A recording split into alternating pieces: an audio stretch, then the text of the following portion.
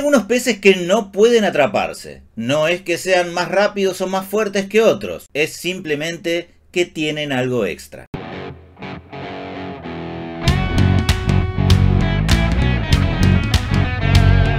En el año 2003, el hombre detrás de joyas como Beetlejuice, el joven manos de tijera, el extraño mundo de Jack, Ed Wood y Sleepy Hollow me sorprendió muy gratamente con esta película que iba a contrapelo de gran parte de la estética que hasta entonces, en gran parte, se había convertido en un sello propio. El Gran Pez era una película colorida, alegre en la superficie y optimista en su columna vertebral. Una película repleta de significados, tantos y tan variados como la cantidad de espectadores en una sala, y admite tantas lecturas que se la puede volver a ver una y otra vez y hablar sobre ella, me animo a decir, de manera incansable. Son tantos los tópicos que se pueden abordar mientras se la ve que me voy a atajar diciendo de entrada que no solo me van a quedar algunos en el tintero, sino que probablemente haya lecturas que ni siquiera sea capaz de hacer. Así que, sin más preámbulos, los invito a recorrer juntos esta joya de Tim Burton llamada El Gran Pez.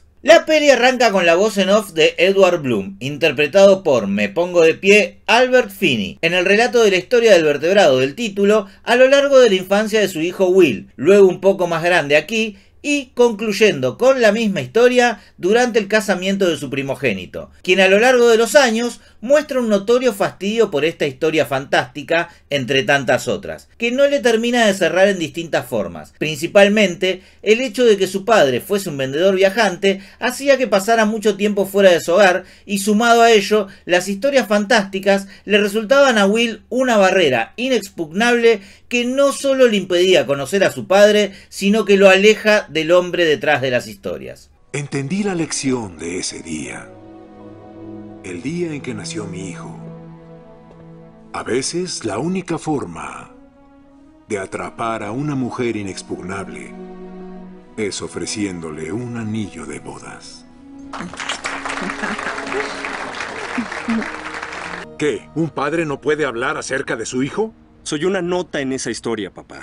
Soy el contexto de tu gran aventura que nunca pasó. Estabas vendiendo productos para el hogar en Wichita el día que yo nací. Vamos, Will, todos adoran esa historia. No, claro que no es así. Yo no adoro esa historia, no después de oírla mil veces. Yo conozco cada línea tan bien como tú y la podría contar igual. No, estás equivocado. No podrías contarla igual porque no tenés ni la mitad de la gracia ni elegancia que tiene el señor Finney, así que a casa. Después del berrinche de niño chiquito, Will no volvió a hablar con su padre y tomó su lugar en la larga, gris y triste fila de hijas e hijos que no vuelven a hablarse con sus padres hasta que un acontecimiento los vuelve a reunir. Normalmente es un acontecimiento fortuito y triste, y no hablo solamente de esta ficción, hablo en general de la vida de cualquiera de nosotros. En particular, tuve la suerte de no haber formado en esa fila, pero sí tuve la tristeza de haber observado a otros hacerlo y no suele ser un espectáculo feliz. Este es un buen primer punto de esta película. ¿Alguien quiere ser como Will? Creo que es una pregunta de resolución muy sencilla y para responderse con una mano en el corazón. Will recibe el llamado de su madre para comunicarle que su padre está moribundo. La voz de Will avanza en el relato de la vida de su padre diciendo que no siempre tiene sentido y que la mayor parte jamás sucedió. Edward le cuenta a su hijo la historia del pantano y la bruja, en la que el niño Edward es desafiado a traer el ojo de la bruja, del que se dice que, al observarlo, se puede ver la forma en la que morirá quien lo mire. Luego de observar el ojo, los amigos huyen aterrorizados. Edward simplemente lo contempla y lanza un Ah, es lo que creí. A este punto no termina de quedar claro cómo o en qué momento de la vida Edward logró la sabiduría de comprender la finitud de la vida, lo que le dio un potencial de vivirla saboreando sus momentos con la certeza de que todo un día iba a acabar. Sin adentrarme demasiado en el final de la historia, puedo decir que la herramienta más potente que le dio la certeza del final fue la posibilidad de construir su propio camino, su propia historia incluyendo su desenlace. Al llegar a la casa, un momento importante donde el viejo Edward apunta que... No deben preocuparse tanto. Todavía no ha llegado mi hora. Yo no moriré así, hijo. ¿En serio? Claro, lo vi en el ojo. Vi mi muerte en ese ojo y no va a suceder así. Ya verás. ¿Y cómo pasará? Es un final sorpresa. No me gustaría echártelo a perder. No va a morir así. Al pasar por su vieja habitación, Will recuerda la delirante historia de cómo su padre pasó tres años en cama debido a que tenía un crecimiento desproporcionado, fuera de lo común, cuestión que lo llevó a estar postrado para controlar su crecimiento durante el cual descubrió un artículo sobre peces. En una pecera pequeña, el pez dorado permanecerá pequeño. Con más espacio, el pez crecerá de tamaño al doble, triple o más que eso. Se me ocurrió que quizás la razón de mi crecimiento era que estaba predestinado a cosas más grandes. Es aquí donde vemos cómo, a partir de comprender este concepto, Edward se lanza a conquistar todo tipo de logros como deportista, emprendedor, héroe local, etcétera, etcétera. Él dice, era lo más grande que el pueblo haya visto, hasta que un día llegó un forastero. Una criatura gigante frente a la cual el pueblo entra en pánico y a la que Will se ofrece a enfrentar y lo hace en una charla en la que le plantea que es un ser muy grande para un pueblo tan chico y que el pueblo es demasiado pequeño para un hombre con sus ambiciones. Y le ofrece salir juntos de allí a buscar un lugar en el mundo. Este fragmento es muy genial. La idea de que lo que nos contiene es lo que nos limita utilizando el crecimiento, la pecera, el pueblo y otras cuestiones como metáfora es sencillamente maravillosa. Y ahí se van los dos. A la salida del pueblo hay una bifurcación, un camino asfaltado y otro que no. Ambos deciden separarse para luego encontrarse. Edward tomará el camino más viejo, ya que considera que es su última oportunidad de recorrerlo. A la mitad de este recorrido, nuestro protagonista se topa con el pueblo de Spectre. A priori, por cómo lo reciben, uno lo relaciona directamente con la muerte, mas luego veremos que tiene más implicancias. En este lugar nadie utiliza zapatos, el lugar luce perfecto, confortable, cómodo, ideal. Al adentrarnos en sus habitantes, conocemos al poeta que viene también de Ashton, el mismo pueblo de Eduardo, y al que observamos imposibilitado de avanzar con su arte y sus poemas. El lugar se muestra excelente, pero se puede hacer una descripción muy particular, como ya dije, más allá del concepto de la muerte, pero sin dejar de involucrarlo. Spectre es el lugar donde todos están a gusto, bello, perfecto, transparente, alegre y sin sobresaltos. Tan ideal es que implica una suerte de estancamiento y ese estancamiento se da allí en esa suerte de zona de confort que reúne los atributos que ya he descrito. ¿Y por qué Spectre aparece justo aquí? Es difícil arriesgar, pero por un lado me animo a aventurar que es lo más parecido a la muerte que puede conocer el protagonista, siendo una suerte de lugar perfecto de descanso definitivo no es menor el detalle de los zapatos colgados y no, no es que vendan falopa, aunque bien podría ser con los niveles lisérgicos que maneja el pueblo, pero no. Pienso más bien que los zapatos es algo que nos quitamos cuando llegamos a descansar. Y aparece aquí como una suerte de última tentación para Edward. Él está saliendo de su pueblo con la idea de enfrentar nuevos desafíos. Se va del lugar que lo vio nacer y donde forjó sus primeras herramientas y obtuvo sus primeros éxitos. Irse de allí implica salir de la zona de confort. Quedarse en ella, como le ofrece Spectre, sería lo más parecido a una muerte en vida, ya que no se avanza, no se crece, no se ambiciona, no se sueña, etcétera, etcétera, etcétera. Esta idea se refuerza con la cuestión de los zapatos, ya que Jenny, la encantadora niña que sigue a Edward en todo momento, cuando éste manifiesta la idea de partir, le pregunta cómo va a irse si no tiene zapatos. Bueno, sospecho que me dolerá. En serio. Y esto es lo que cierra la idea que vengo intentando. Edward está cambiando todo el confort por la incertidumbre de un camino que se abre, si bien apasionante y rico, seguramente también lleno de incertidumbres y sin sabores. Pasamos al relato en primera persona del viejo Edward, quien le cuenta a su nuera la historia de cómo conoció a su esposa. Todo parte de cómo Eduardo introdujo a trabajar en el circo a Carl, para luego toparse con su enamorada, a quien pierde de vista y por ello hace un trato con el dueño del circo. Trabajará allí a cambio de que éste le vaya dando información de su amada. Ah, re turbio el señor del circo. Hay una serie de lugares comunes en esta historia, pero no por ello dejan de ser reconocibles y tiernos. Eso que muchas veces la gente llama cursi, a la hora de sincerarnos, es un lugar en en el que, hay que decirlo, estamos todos. El tiempo que se detiene, realizar cualquier tipo de tarea por más ridícula, asquerosa o peligrosa en pos de alcanzar el amor, todo ello como una metáfora que, si alguna vez estuvieron enamorados, no hace falta ni que explique. Luego de atravesar por todo, Edward decide encarar al dueño del circo para obtener la información, pero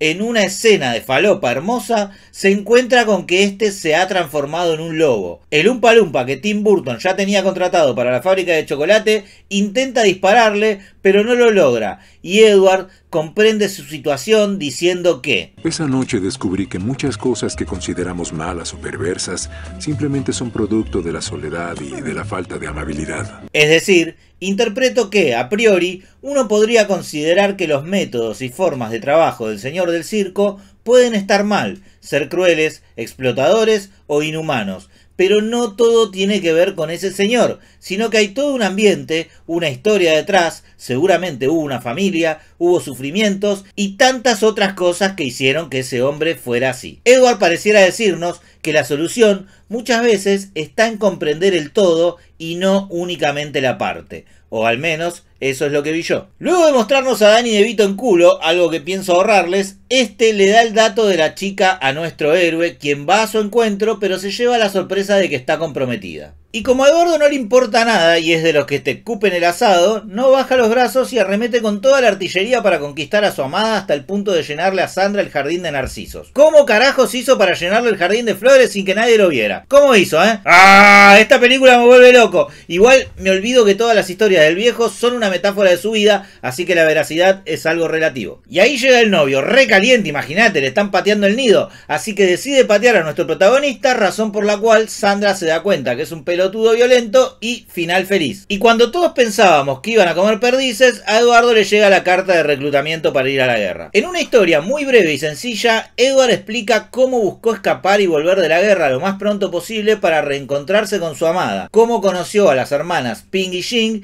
y les contó de su amor por Sandra y de cómo éstas lo ayudaron a volver con la promesa de un futuro en el espectáculo. En suma, y como le gusta decir a Edward, Como siempre ha sido, este amor fue mi salvación. Estaba destinado a serlo. la historia de cómo ese amor fue su salvación. Tengo que confesar mi debilidad por la idea de que Sandra le salva la vida en la guerra de este modo. Es algo que me resulta sencillamente encantador. Will le cuenta a su esposa sobre cómo siente que conoce muy poco a su padre y de cómo sospechó siempre que él tenía una doble vida ya que pasaba muy poco tiempo en su casa. Luego le dice directamente a Edward que siente que lo conoce muy poco. Le dice que En realidad no, no tengo idea de quién eres, porque jamás me has dicho nada, nada real. Te he dicho cosas reales, Will. Es lo que hago. Cuento historias. Cuentas historias, historias que no son ciertas. ¿Qué quieres, Will? ¿Qué quieres que sea? Sé tú mismo.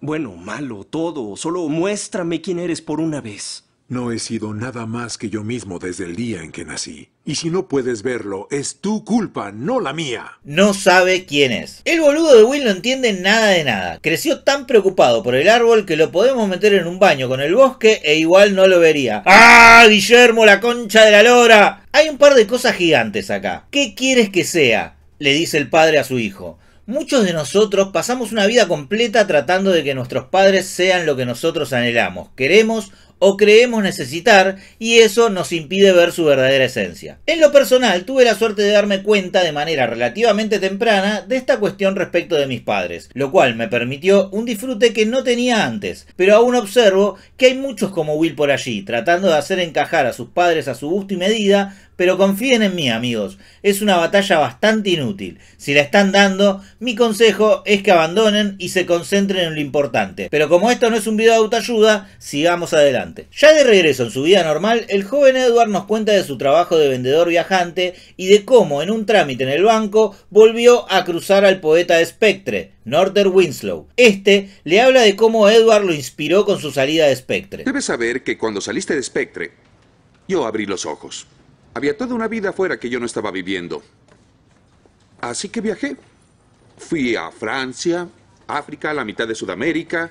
Cada día una aventura nueva. Ese es mi lema. Acto seguido, el poeta asalta la institución bancaria. En este breve movimiento, el director le quita, al menos por un momento, todo el glamour y la magia a ciertos valores que la película venía sosteniendo, bajándolos a tierra y diciéndonos que no siempre todo termina bien para todos, que a veces los sueños, por más ideales que sean y por más empeño que se ponga en su persecución, pueden verse truncados por malas decisiones. Aquella idea de salir de la zona de confort, si bien osada y valiente, no siempre logra una resolución feliz. De todos modos, el guion devuelve al carril al poeta ya que Edward lo vuelve a inspirar con una charla en el auto que lo hace devenir en agente de bolsa en Wall Street. Cuestión muy conveniente para la historia, ya veremos más adelante por qué. Will encuentra entre las pertenencias de su padre una escritura de Spectre, por lo cual decide hacer el viaje hasta allí, en donde se encuentra con Jenny, ya adulta, que le explica que lo conoce, al igual que todos, porque el pueblo es parte de la ruta de ventas de Edward. Jenny le cuenta a Will acerca de la segunda llegada de su padre Spectre, que se había convertido prácticamente en un pueblo fantasma tras la llegada allí de la modernidad que acabó con toda su magia y lo llevó a la bancarrota. Es así como con la ayuda de todos aquellos con quienes Edward había compartido las aventuras de su vida,